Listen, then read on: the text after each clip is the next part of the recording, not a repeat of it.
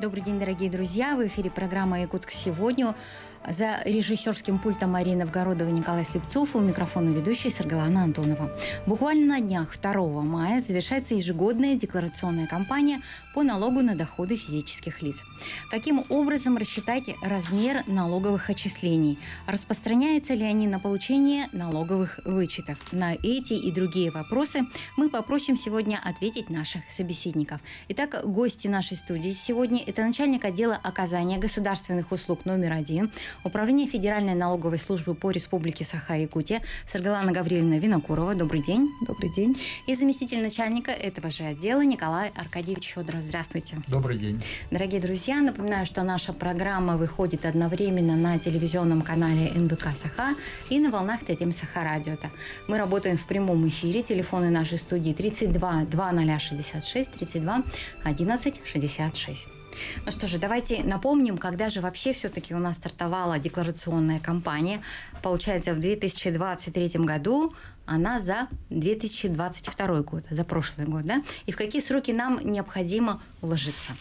Ну, ежегодно у нас стартуется декларационная кампания по полученным доходам за 2022 год, в этом году получается. То есть все физические лица, которые э, продали недвижимость, да, допустим, земельные участки, транспортные средства, и получили от этого доходы, и в иных случаях они должны отчитаться. Установленный срок установлен у нас э, до 30 апреля текущего года, но с учетом выходных он у нас в этом году перенесен на 2 мая 2023 года. Угу. Хорошо, давайте напомним, кто должен предоставить декларации в этом году, какие категории а, населения? Значит, а, должны отчитаться следующие категории граждан. Это те, кто а, реализовали недвижимость, значит, земельные участки, может быть, квартиры, комнаты, да, которые находились у них в собственности меньше трех лет. Также те, которые получили доход от продажи транспортных средств, тоже находившихся в собственности менее трех лет. Также те, которые получили доход от сдачи имущества в аренду. Физические лица тоже должны отчитаться. Кроме этого, те, которые получили доходы от, исто- от источников э, за рубежом, э, получили выигрыши от лотерей, также должны отчитаться. И те, которые получили в дар э, недвижимое имущество, транспорт, земельные участки, паи тоже должны отчитаться. Ну и кроме того должны отчитаться э, индивидуальные предприниматели на общей системе налогообложения, адвокаты, э, учредившие какие-то адвокатские конторы и нотариусы также. Угу, хорошо. А что нам светит за нарушение сроков подачи декларации и уплаты НДФЛ? Например, вот мы не сделали это вовремя. Ну, за нарушение срока представления декларации, то есть э, если не отчитается до 2 мая, будут э, предусмотрены какие-то санкции, ну, получается штраф, да, то есть это э, штраф в размере неуплаченной 5% неуплаченной суммы налога, но не более 30%. И кроме того, если не уплатит в установленный срок, Срок установлен у нас до 17 июля текущего года по доходам э, за 2022 год. То есть, если не уплатит вовремя до 17 июля, то, соответственно, будет еще штраф в размере 20%. Угу. Хорошо, давайте э, рассмотрим определенные примеры, да, и на, именно на этих примерах уже сможем объяснить нашим телезрителям и радиослушателям. Да. Вот, например, если на детей прописаны доли с родителями, то как здесь нужно будет отчитываться? А, ну, на детей тоже может быть, получается, да, доли в квартире. Соответственно, если они э, продали доли детей, то, соответственно, а, ну, то есть, ну, действует такая же норма, что они, если было собственности меньше трех лет, то они тоже должны отчитаться по детям. То есть а, за детей отчитываются их законные представители.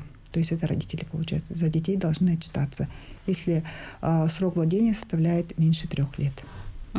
Хорошо, дорогие друзья, напоминаем, что мы работаем в прямом эфире.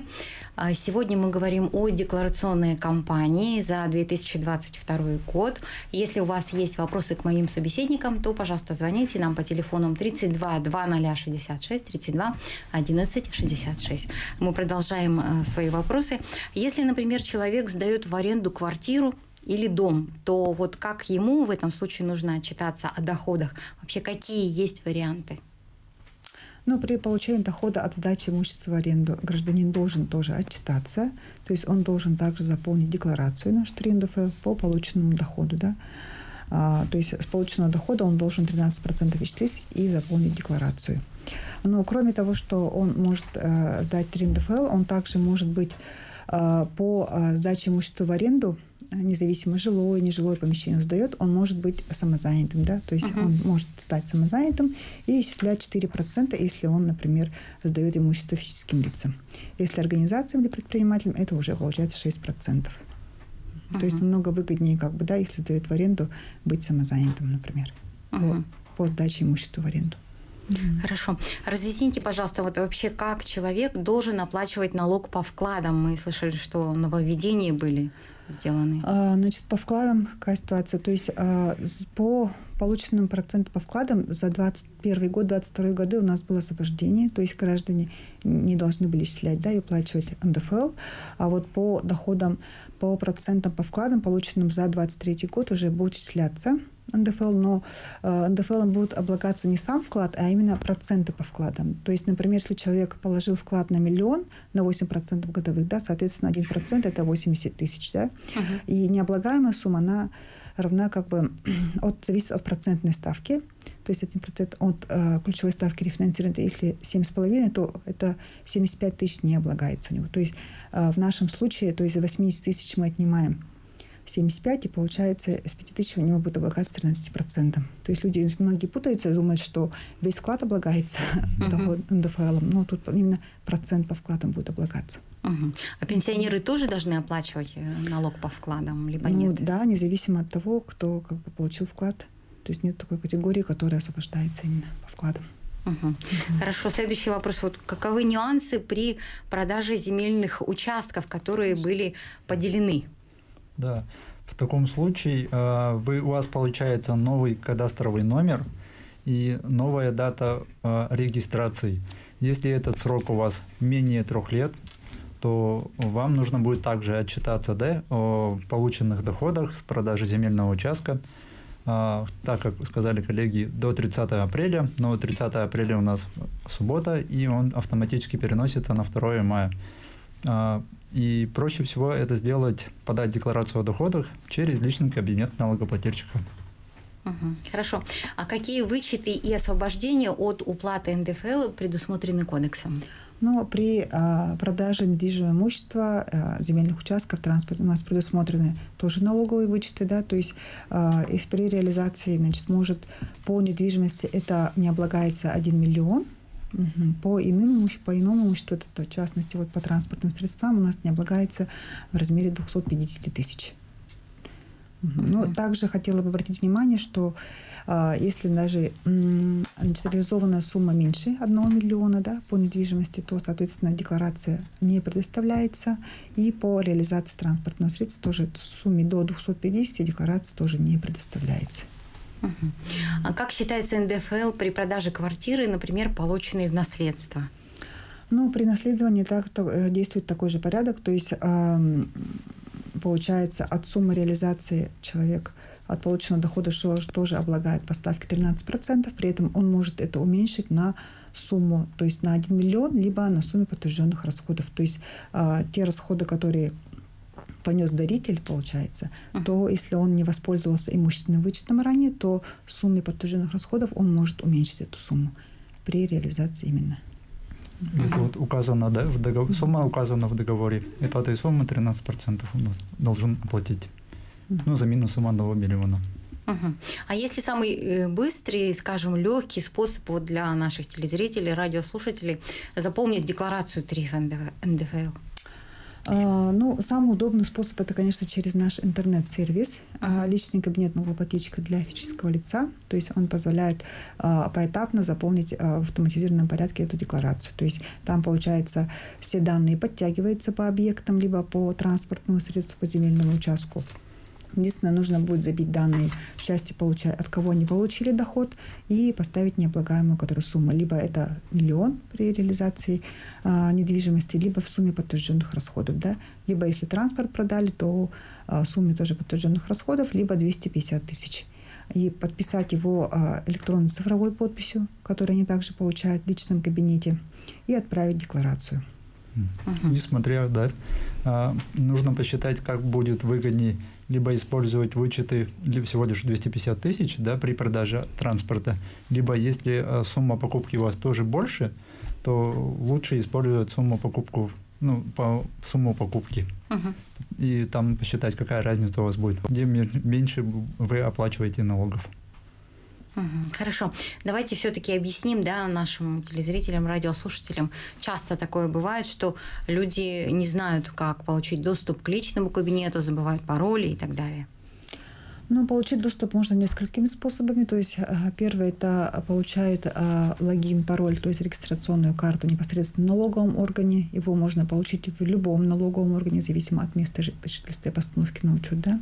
То есть налоговый орган дает регистрационную карту, где прописан логин. Логин это ваш ННН и пароль. То есть при первом входе э, программа потребует у вас э, поменять пароль на более удобный для вас. То есть при первом входе необходимо будет поменять пароль. Также можно зайти в наш личный кабинет с помощью пароля э, от портала государственных услуг. При этом э, этот пароль должен был подтвержден непосредственно э, в МФЦ, либо можно подтвердить э, на сегодняшний день это онлайн-банках, да, получается, в приложениях банков. Это Сбербанк, например, ВТБ, Тиньков, Почта Банк. Там угу. тоже можно очень удобно быстро подтвердить эту учетную запись портала госуслуг.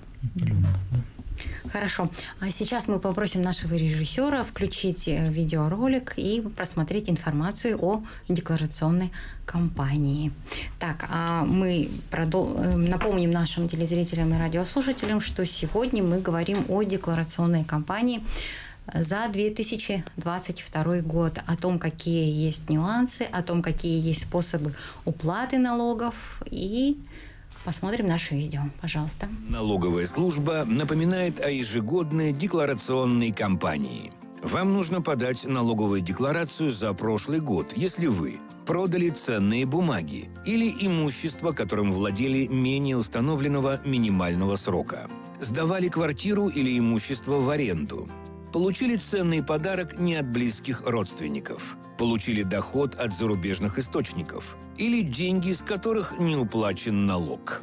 Подать декларацию нужно до 30 апреля, а оплатить налоги по ней до 15 июля. Если вы подаете декларацию только чтобы получить налоговые вычеты, вы можете это сделать до конца года. Заполнить и сформировать налоговую декларацию можно с помощью специальной программы, которую можно скачать на сайте налог.ру. Вы также можете заполнить и подать налоговую декларацию в вашем личном кабинете налогоплательщика. Если вы не имеете доступа к своему кабинету, обязательно получите. Это очень удобно. Подать налоговую декларацию просто. Но если есть вопросы, спрашивайте. Приходите, мы вам поможем. Дорогие друзья, мы продолжаем наш разговор. А сколько вообще человек у нас обязаны продекларировать свои доходы? Есть у нас такие цифры? Да, ну, на текущую дату значит, э, направлено уведомление о необходимости э, декларирования полученных доходов э, где-то более 18 тысяч. Из них, значит, получается, отчитались на сегодняшний день более 15 процентов. То есть мы ожидаем как бы, да, а, представления декларации, установленный срок до 2, до 2 мая от остальных категорий, которые должны представить угу. декларацию. Но еще довольно много, да. оказывается, то есть, человека не читались. Угу. Из 18 тысяч у нас а, где-то 11 тысяч, то есть 60, более 60% ушли а, уведомления в личный кабинет, поэтому как бы призываю тех граждан, которые реализовали недвижимость, транспортные средства, земельные участки, получили, в общем, доходы угу. в 2022 году, посмотреть свои личные кабинеты, кабинеты и отчитаться своевременно. И остальная а, часть, это получается около 8 тысяч у нас а, а, ушло через отделение почты. То есть они получат эти уведомления на бумаге. Угу. То есть призываю не ждать, пока как бы наступит уже срок, да, то есть пораньше, чем пораньше, тем лучше получается, чтобы не было штрафных санкций. Угу. Ну, а как быть, вот, например, людям, которые не получили по почте налоговых уведомлений? Ну, бывает так, что не донесли, а, где-то угу. утеряли, к сожалению.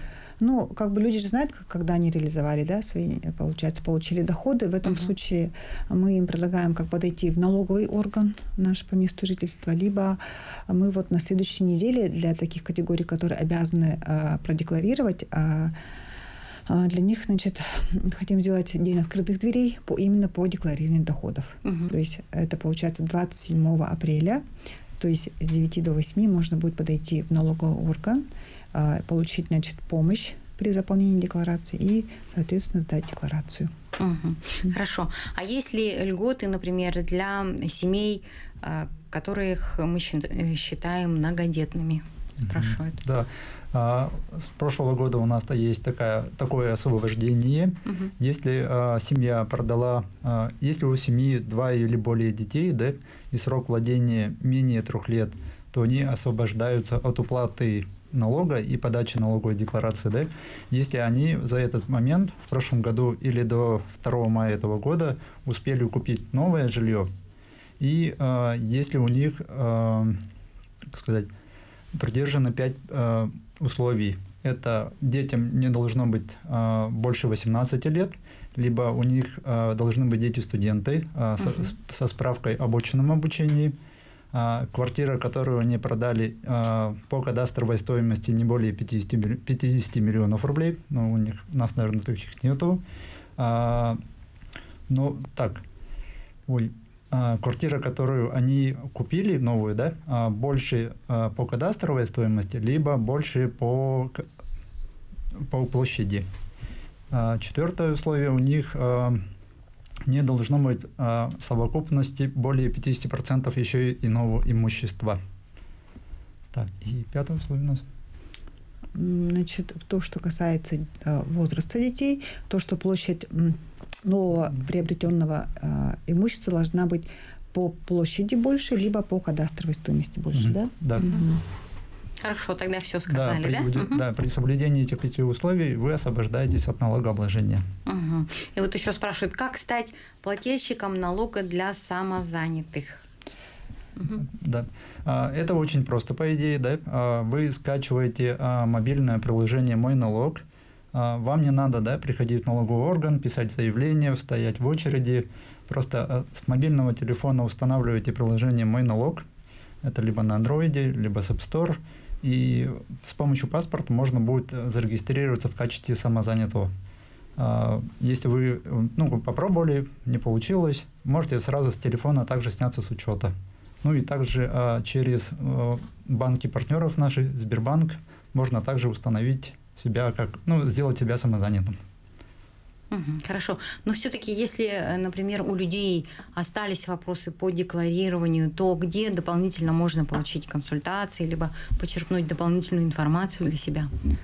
Ну, на нашем официальном сайте www.налогов.gov.ru имеется промо-страница декларационной кампании 2023, да, где имеется вся информация о э, декларационной кампании, какие категории должны сдать э, отчитаться по полученным доходам, каким образом, в какие сроки. А, но помимо этого у нас есть телефон единого контакт-центра 8 800 7 двоек, тоже можно позвонить а, и значит, проконсультироваться по вопросам, которых интересует. И хотелось бы добавить, да, а, по России в целом, да, по налоговому кодексу минимальный срок владения 5 лет. У нас в, России, в Якутии это 3 года. Угу, то есть у нас срок даже меньше, меньше получается. Да. Угу. Ага, я думаю, что это все равно влечет определенные удобства, да, например, для наших, для наших налогоплательщиков. Да? И давайте еще раз э, напомним о том, что у вас будут проходить дни открытых дверей. Мы сказали, что 27 апреля. Да. Угу. Мы планируем провести день открытых дверей именно по декларированию доходов, а, где сотрудники а, налогового органа вам предоставят а, помощь то есть поможет заполнить декларацию в личном кабинете непосредственно. И это данное мероприятие состоится 27 апреля во всех налоговых органах по республике, а, и время с 9 до 8 часов. Угу. То есть действительно очень удобно, потому что это еще и выходной день да. для некоторых наших э, телезрителей, угу. радиослушателей. И в этот день действительно можно будет найти время для того, чтобы прийти, подчеркнуть для себя дополнительную информацию, задать вопросы да, определенные. Еще спрашивают, вот э, мы знаем, что есть определенные виды вычетов, и тоже хотели бы узнать дополнительно, как, например, получить профессиональный вычет, где это можно узнать.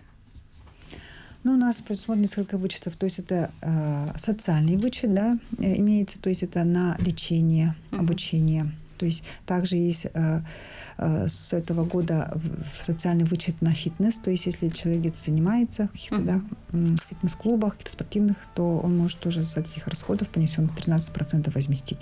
Кроме этого имеется, получается, у нас э, стандартный вычет Угу. Об этом мы договорим да. в следующей части угу. нашей программы. Дорогие друзья, сейчас мы прервемся на небольшую рекламную паузу, после чего вновь продолжим наш разговор. Не переключайтесь, оставайтесь с нами. Программа «Иркутск сегодня».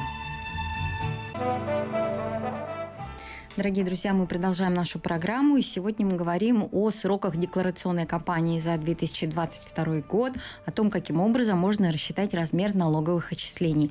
И гости нашей студии – это начальник отдела оказания государственных услуг номер один Управления Федеральной налоговой службы по Республике Саха-Якутия Саргалана Гавриловна Винокурова и заместитель начальника этого же отдела Николай Аркадьевич Федоров. Дорогие друзья, наша программа выходит одновременно на телевизионном канале НВК Саха и на волнах Татим Саха Радио.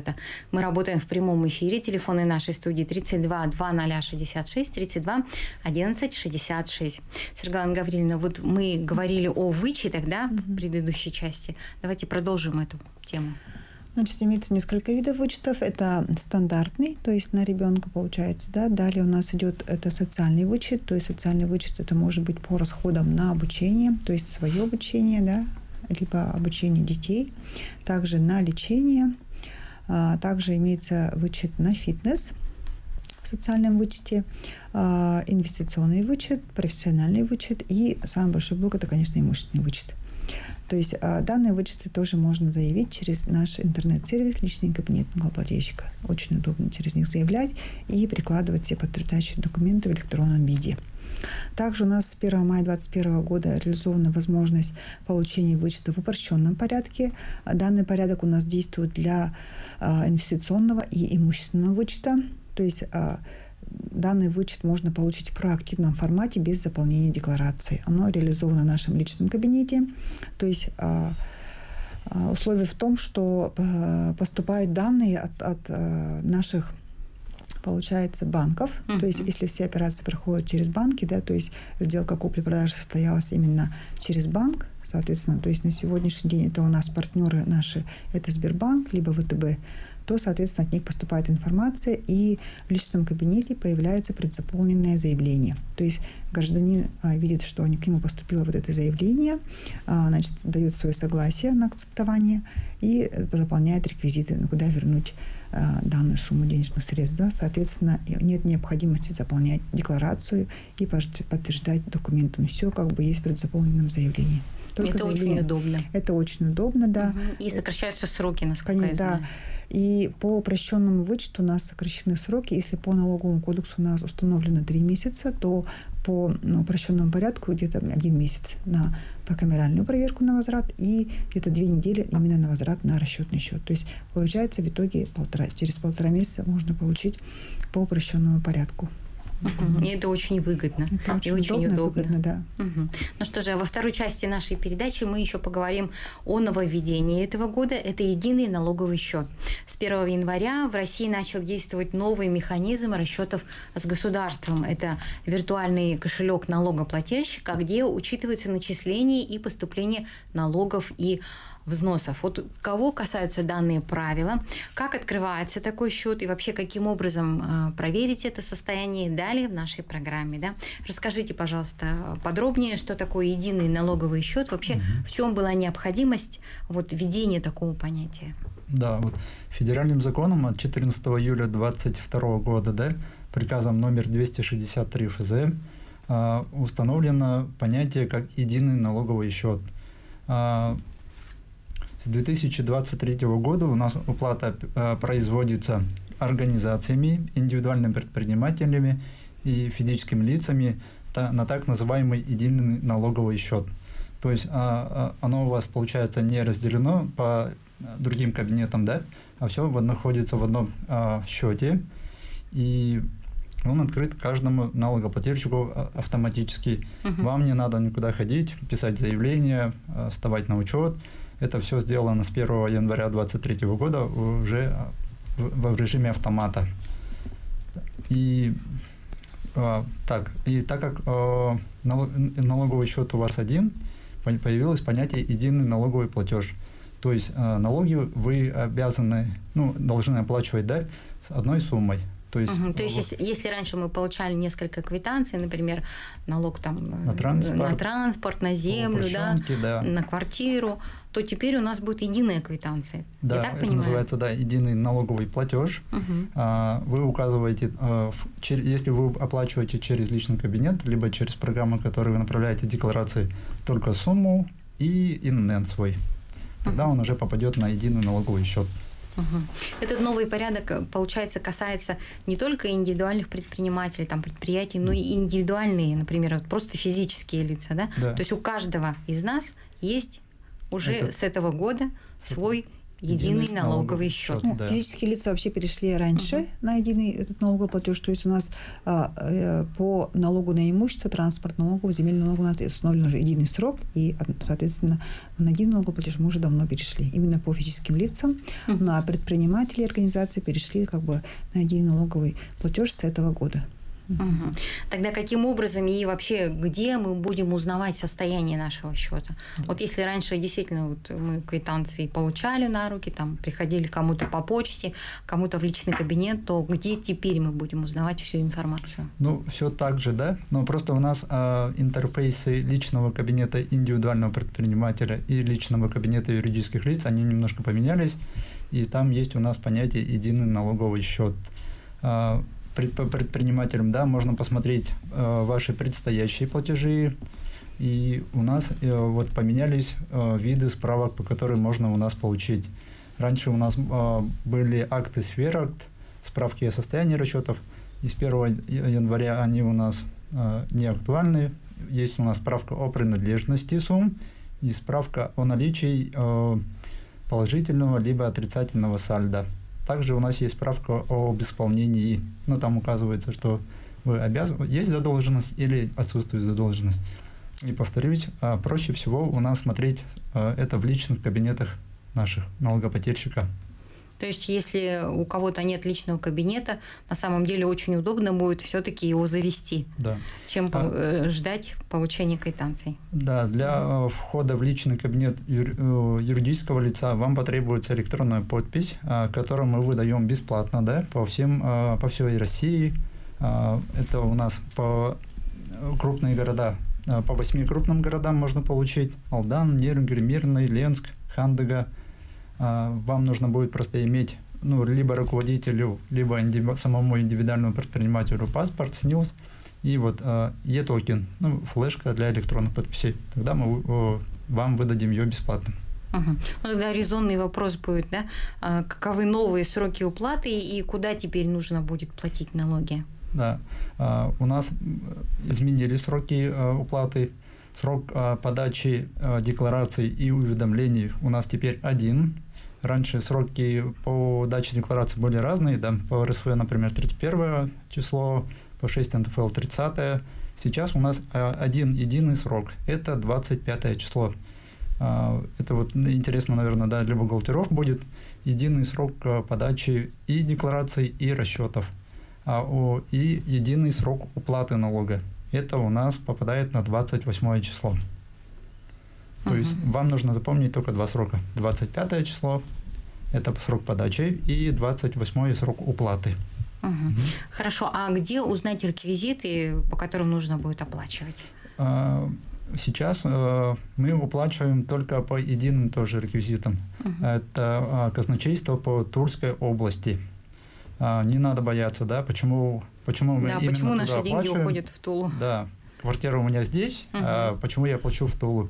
А, проходил э, в Тульской области, проходил, эм, как сказать, ой.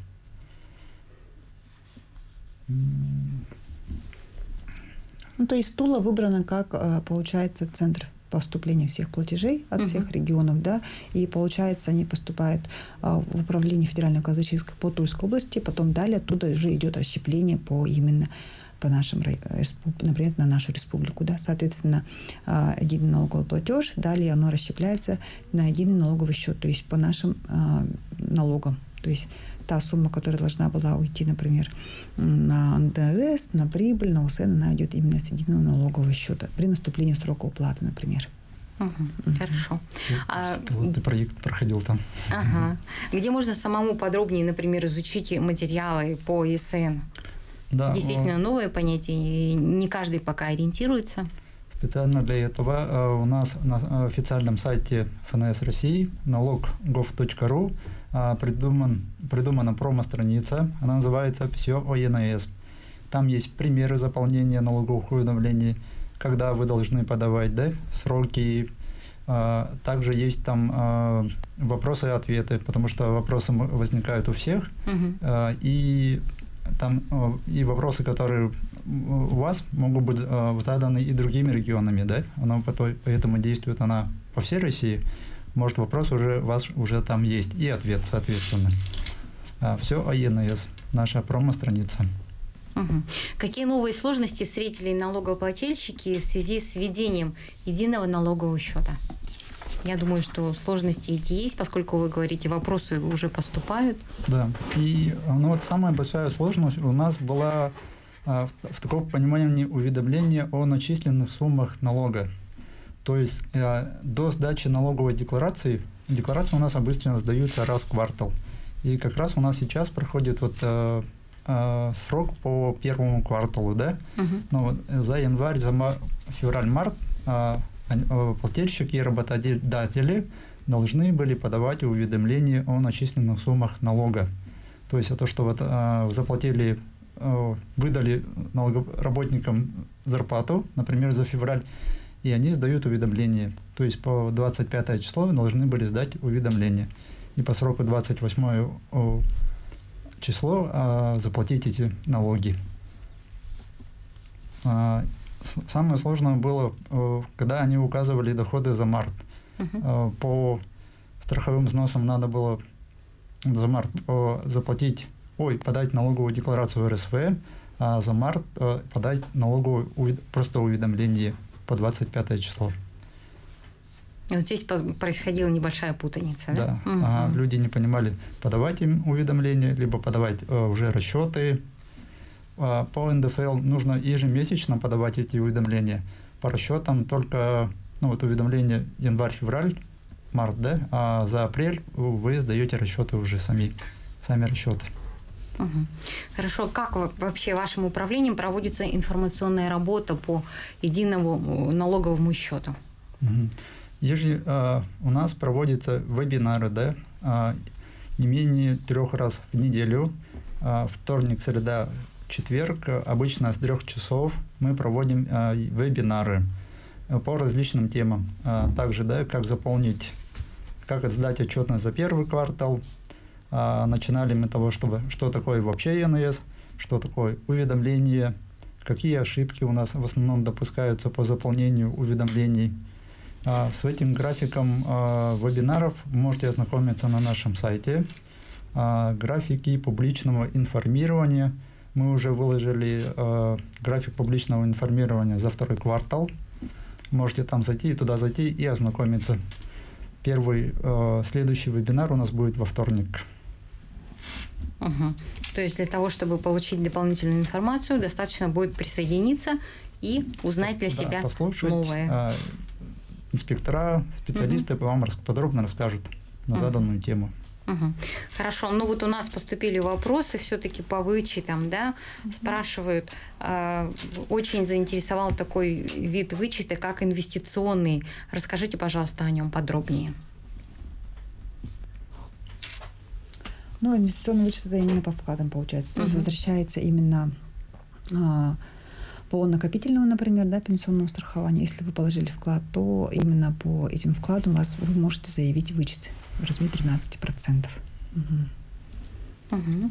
Ну и кроме того, инвестиционные виды вычетов, наверное, можно получить, если мы делаем какие-то определенные инвестиции на финансовом рынке.